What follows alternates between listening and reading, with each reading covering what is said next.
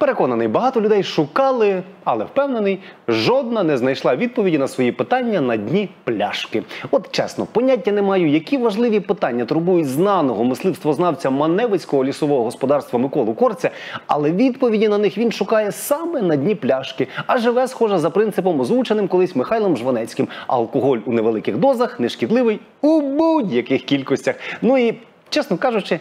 Хрін з ним без тим паном корцем. Нравиться бухати, влаштовує такий алкопрацівник керівництво та бухай собі на здоров'я і створює враження праці. Але є одне кріпко важливе, але у Миколу Миколайовича, здається, під шафе вселяється дух Шумахера, і він як тільки хильне.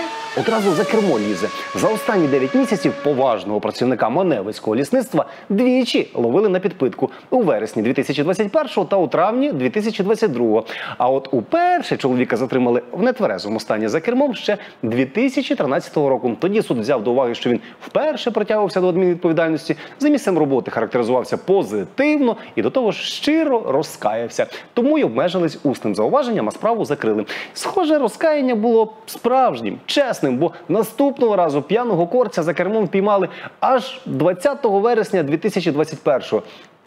Чи може просто не попадався? Хто зна? Вдруге пійманий любитель п'яної їзди цього разу був куди діловитішим. Ну, за 8 років, як то кажуть, в пір'я вбрався. Від проходження алкотестера Коля відмовився, а з поліцейськими мисливствознавець вів себе хамовито і намагався порішати. Суд уже не був таким поблажливим та визнав єгеря винним, забрав на рік посвідчення водія і присудив 17 тисяч гривень штрафу. Але мужчина подав апеляцію, і крапка у цій історії досі не поставлена. Поки тривали судові засідання, наступне до слова заплановане на 12 серпня, 26 травня 2022 Микола Корис, перебуваючи за кермом Звісно ж, на підпитку скоює ДТП, ламає паркан приватного помешкання у Маневичах. Скільки ще треба п'яного єгеря за кермом зловити, щоб керівництво побачило, що чолов'язі потрібні серйозні санкції, а то і ну лікування? Чи може треба, щоб не паркан зніс, а людину?